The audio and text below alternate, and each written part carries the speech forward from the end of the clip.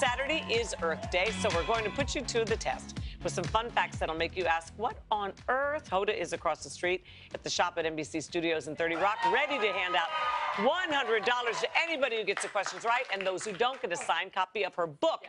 Here with me is the CEO of the Planetary Society and author of Jack and the Geniuses, a genius himself, Mr. Bill Nye, everybody. Hello. Uh, hi. All right, you ready to play? Yes, ready All right. for uh, hilarious science uh, interaction. Let's see. All right. Okay, Hoda All woman. right, we got some big Bill Nye fans out here. What's your name? Antoinette, All right, where are you from, sweetie? South Jersey. All right, let's play. Here we go. The largest snowflake on record had a reported diameter, that's across the middle, of 7 inches, 10 inches, or 15 inches. I'm going with B. She's going with B. Oh! but All right. I think you have something to demonstrate. Well, this. you guys made this, uh, this 15 inches, so it was in Montana someplace in the 1870s. Did they even have rulers then? How do we know? I think they had rulers that Yeah. were accurate, so you got to have just the right conditions for the snowflakes to stick together and make it all the way to the ground.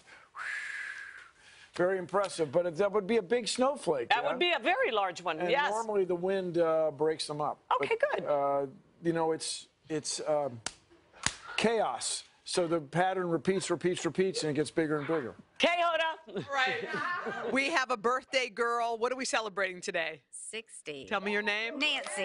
Nancy, birthday girl, I think you're going to win. I feel lucky for you. All right, ready? When you drop this item into a glass of freshly poured champagne, it will bounce up and down continuously. Is it a raisin, a peanut, or a carrot? Ask your son. B. B. Her son. Oh. Oh, wait.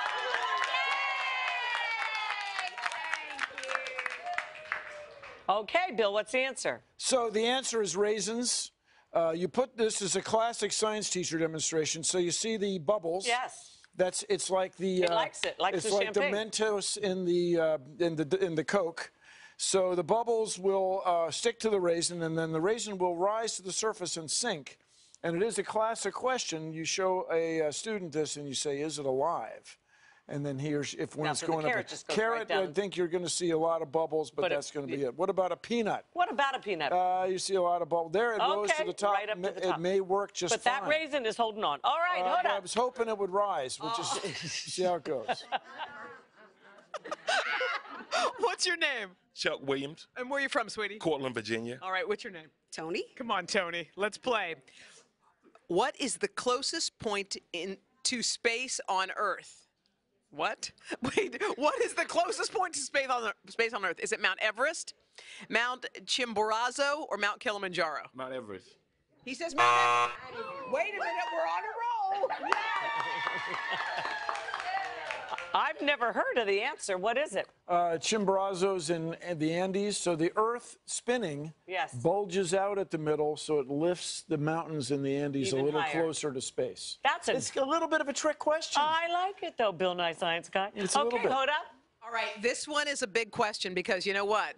If you lose, and you might want to consider losing, sweetie, you get Kathie Lee's Party Animals book. This one is worth a $1,000 on eBay because Melania Trump read it on, at the White House. What's your name? Go. Christina. All right, Christina, I think that you're going to get this. All right, are you ready? True or false?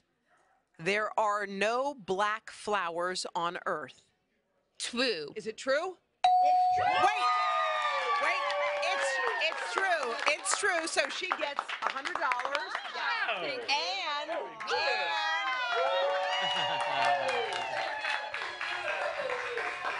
Yeah. Hopefully she'll put that towards her college fund if she sells it.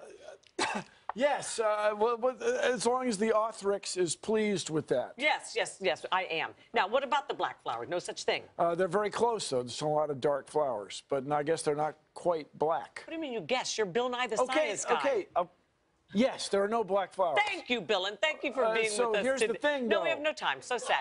Okay. It's surprising. Why not soak up all the sunlight? Apparently, chlorophyll is the best evolution can do. Here we are. Here we are, Enjoy Bill. your vegetables. Happy Earth Day to you. Hello, Today fans. Thanks for checking out our YouTube channel. Subscribe by clicking that button down there and click on any of the videos over here. to watch the latest interviews, show highlights, and digital exclusives.